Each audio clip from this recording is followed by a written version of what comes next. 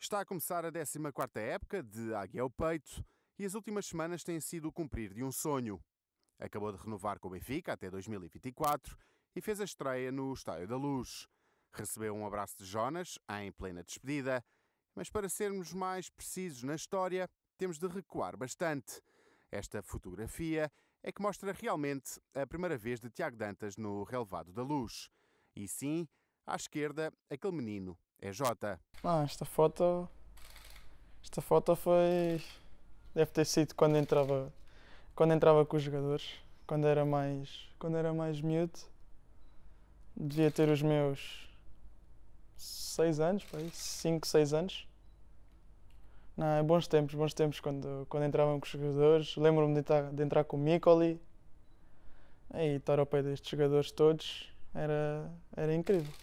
Entrava em campo com Mikoli e, como jogador, foi para o lugar de Jonas. Uma sensação incrível que nunca vai esquecer. E foi a despedida de Jonas, de um, de um excelente jogador, o qual tive a oportunidade de treinar algumas vezes. Não, não tive a oportunidade de partilhar o balneário com ele, mas pelo que as pessoas dizem e o que me transmitiram, ah, foi que ele era uma, uma pessoa excepcional, ah, era um grande profissional e, e o que nós víamos, adeptos, e que ele era um jogador, um jogador fantástico.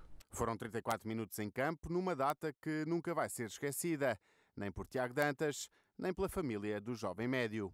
foi, foi o concretizado um sonho. São 14 anos já aqui e a primeira vez nunca mais, nunca mais a vou esquecer. Ah, vai ser uma data que vai ficar para sempre marcada na, na minha memória e foi um sonho meu, um sonho da minha família e poder concretizá-lo foi, foi uma bênção que, que Deus me deu.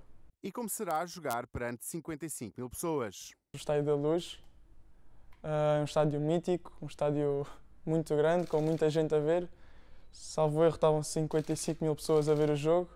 É muita gente, porque nós estamos habituados a jogar aqui, aqui na formação, mas ah, é incrível sentir a bola ali no estádio, jogar ao pé daqueles, daqueles jogadores, agora poder treinar com eles todos os dias. É muito bom e agora é só dar continuidade ao trabalho feito. Agora que está a fazer a pré-temporada na equipa principal, Tiago Dantas explicou as diferenças que sentiu. A diferença é, é, é óbvia. Os jogadores são, são excelentes jogadores, excelentes profissionais.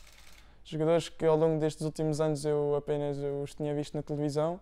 E agora poder treinar com eles e estar com eles todos os dias, no dia a dia, ver a maneira como eles trabalham, como eles se empenham todos os dias, é, é fantástica e daí os resultados que têm tido nos últimos anos. Agora que subiu de patamar, a pressão também é maior. Apesar disso, tenta passar ao lado e pensa apenas em trabalhar e evoluir. Não, eu não tento não ligar muito a isso. Não...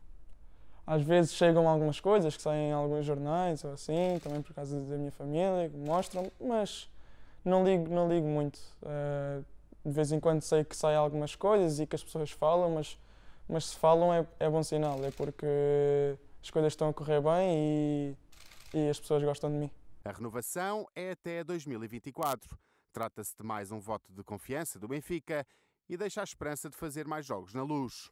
é mais um voto de confiança do clube. Eh, É sinal que as coisas estão a correr bem. Eh, O clube acredita em mim, senão não, não dar-me este contrato novo. Eh, E agora é continuar a trabalhar, dar mais responsabilidade, é, é óbvio, mas é mais um incentivo para continuar a trabalhar todos os dias e poder fazer muitos mais jogos no Estádio da Luz.